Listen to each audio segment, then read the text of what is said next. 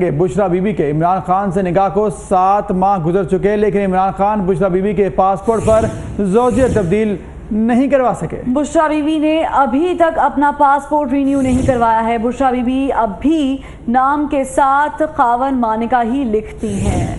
اسی پر بات کریں گے اپنے نمائندے اویس کرانی سے۔ اویس کرانی، سات ماہ گزر چکے۔ عمران خان کے نکاح میں آئے ہوئے بشرا بی بی کو ابھی تک نام تبدیل نہیں کیا۔ کیا وجوہات ہیں؟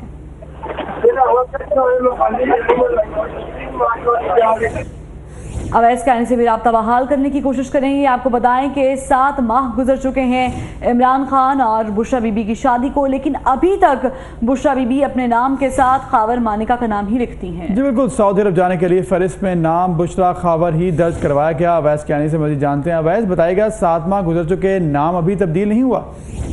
جی بالکل یہی چیز ہے کیونکہ جو ڈاکومنٹس ہمارے پاس جو آئے ہیں جو کہ اب مدینہ کو جو یہ پرائیویٹ جیٹ جو کیا ہے، اس میں چھ افراد سوار تھے، عمران خان، ان کی اہلیہ بشرا جو خبر جو منیکا ہیں، عبدالعلیم، ان کی اہلیہ اور ساتھ جو اون جو اون ان کے ساتھ جو بخاری ہیں ان کے سید ذوالفقار بخاری۔ تو یہ جو نام ہے ان میں جو دوسرے نمبر پہ جو نام ہے بشرا خاور مانکا جو کہ عمران خان کی اہلیہ ہیں ان کا سل نام جو ہے وہ پاسپورٹ پہ وہ پرانا نام ہی ہے اور ابھی جو ان کی جو شادی ہے ان کو سات ماہ سے زیادہ کا عرصہ گزر چکا ہے لیکن عمران خان کی مصروفیات کے باعث ابھی تک جو بشرا بی بی نے اپنا جو پاسپورٹ ہے وہ جو ہے تبدیل نہیں کروایا آپ کا